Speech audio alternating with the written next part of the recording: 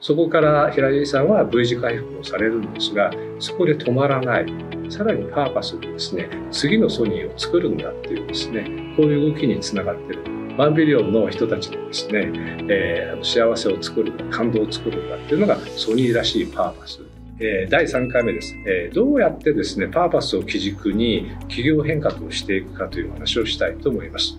企業変革とかイノベーションというのは今皆さんの企業にとってすごく大事なテーマになってるんじゃないかなと思います。でその時にパーパスがお役に立つということをぜひ、えお話ししたいと思うんですね。よく企業変革というとですね危機感が大事だということを、え皆さんおっしゃるんですが危機感ボタンというのは最悪のボタンというふうに言われてます。あの私のハーバード時代の先生にジョン・コッターというですねリーダーシップだとかそれからこの企業変革の大家がいます。彼実はですね松下幸之助冠講座のですね。実はあの教授で松下幸之助さんのこともすごくよくご存知なんですけれどもこのジョン・コッターがあのつい最近「チェンジ」って本を書きましてその中で変革をするチェンジは変革ですが2つのボタンがある。で赤いボタンがですね危機感ボタン。これ押しちゃダメだよ。危機感ボタンを押しちゃうとですねまずみんなフリーズする。もうどうしよう。止まっちゃいますよね。で一部のですね小賢しいのはどんどん逃げちゃう、えー、その船から降りちゃうみたいなですね。それからまああのしっかり頑張ってる元あの中で頑張る人たちも V 字回復するのが精一杯。したがって元に戻るのが精一杯で進化しないです。イノベーションみたいなですねある種リスクのあることはそういう時には絶対にしない。なので V 字回復に戻るだけなんですね。でそれがあの、えー、危機感ボタンを押した時彼はサバイブボタンって言うんですけども生きるか死ぬかっていうボタンを押しちゃいけないこれ赤赤くついてます。で緑のボタンこれはですね彼の言葉で言うとスライブボタンって言いましてスライブってのは反映するっていう意味なんですね。で私はこれを、えー、あの使命感と言ってまして使命の死は使うっていう字じゃなくてまさに志って私勝手に変えてまして志の命の感覚感覚を持つ。自分たちの志をしっかりと高いところに打ち立てれば今から10倍ぐらい自分たちは成長できる。でそれは自分たちが、えっと、大きくなるというよりも世のため人のために自分たちがやれることがいっぱいあるんだこの感覚があるとですねこの使命感があるとみんなはですねもっともっと進化したくなる。今のまま元に戻るだけでもダメでもっと自分たちの価値をですね10倍世の中に伝えたい。というふうに思う。これが使命感というですねこれをスライブボタンとジョン・コッタは言いますこのボタンを押してちょうだい。このボタンを押すとみんながどんどんですね変身する変化することに対して前向きになります。あの皆さんやっぱり変革嫌ですよね。現状維持今慣れ親しんだことをやりたいと思いますよね。だけれどもこの志が高いところにあれば今のままではダメ。もっと自分たちの本当に、えー、あの、えー、作りたい未来に向けて自分たち自身も変わらなきゃいけないという気持ちが生まれるんじゃないかと思います。なので私あのパーパス経営のお手伝いするときに3つのことをお手伝いしてましてまず最初はですねそのパーパスをしっかりと打ち立てる。さっきのワクワクならではできる。これをキーワードにもう好きな未来をあらゆる制約を取って今から1桁ぐらい高い未来を作ってください。でこれが1個目ですね。で2つ目が内政セッションといいまして、えー、今度はですね自分たちの今を見つめてください私よく鏡をですね用意するんですが自分たち見つめてくださいそうするといけてない自分が見えてますよねここから始めるとみんないろいろ言い訳があの忙しいとかですねやることいっぱいとかっていっぱい言うんですけどさっきいけてる自分たち見ちゃってるんでいけてないなとさっき言ってたような夢のような自分たちとはえらく現実違うよねということでいろんな実は課題に対してしっかりと自覚するようになります。ここでいいのはですね課題があるっていうことはそれを超えればそれを解決すればもっと成長できるということなので課題は機会に変わるんですよねこれがすごく大事なんです課題から入っちゃうとですねなんとなくこう辛くてですね下も下向いちゃうんですけれどもそうじゃなくていけてる自分たちに向かうために今課題があるっていうことはそれを変えればまさに変革なんですけれどもそれを変えることで実はいけてる自分たちにもっと近づくんだ。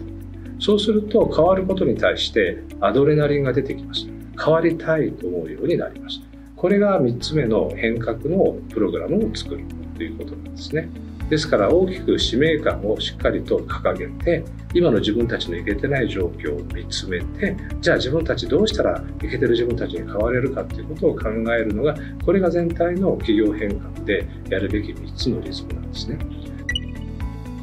その時に私一つですね、あのぜひあの、えー、皆さんに気をつけていただきたいということがありまして、私さっき返信という言葉を使ったんですけど、返信願望っていうのはですね、誰しもあるんですが、あの返信っていうとですね、あのコスプレに行っちゃうんですよ。コスプレって分かりますかね？こう、あの上にいろんなものをかぶってですね、変わった気になる。でもそれってすぐ脱げちゃいますよね。中身変わってないんですよ。私は、ね、変身じゃなくて変態って言ってましてですね変態って変な意味じゃないですよあの変態というのはですね自分の内側から変わっていく例えば卵が、えー、さなぎあまず幼虫になってさなぎになって蝶になるこれ変態ですよ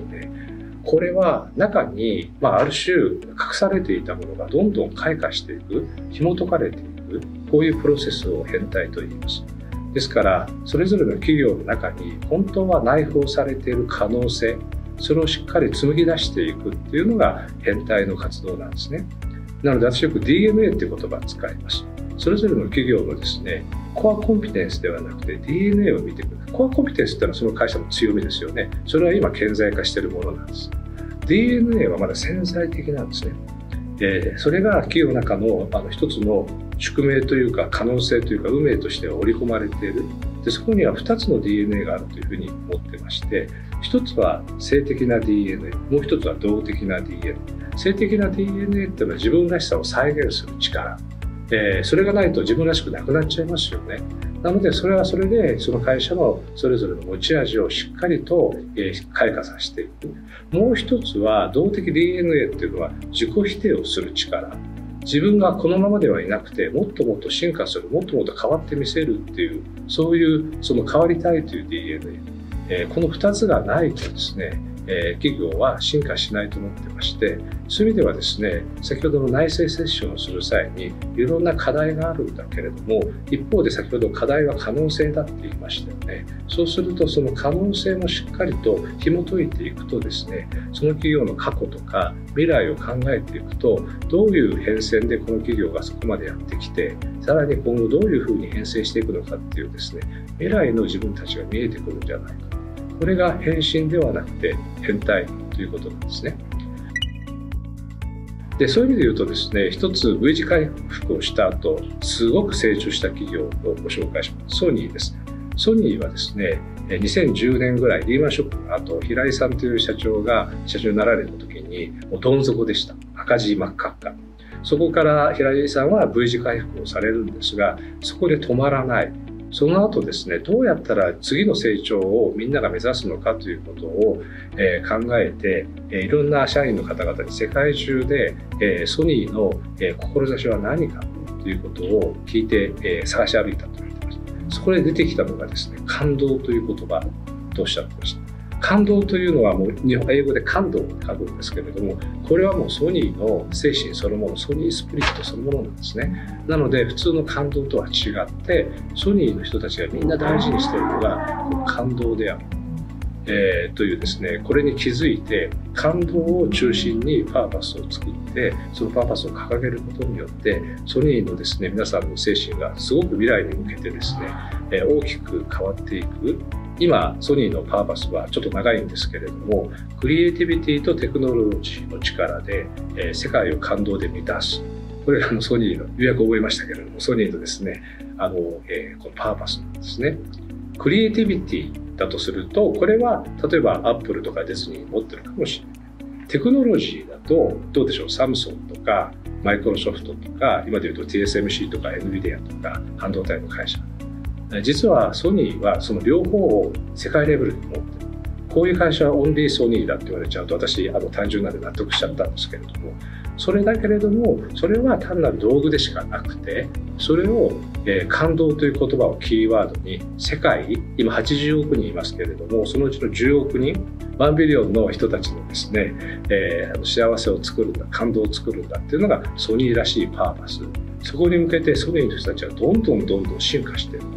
それがその V 字回復で元に戻っただけではなくてさらにパーパスでですね次のソニーを作るんだっていうですねこういう動きにつながってるこれがあのソニーのですねパーパスを起点として大きく進化している姿なんじゃないかと思います。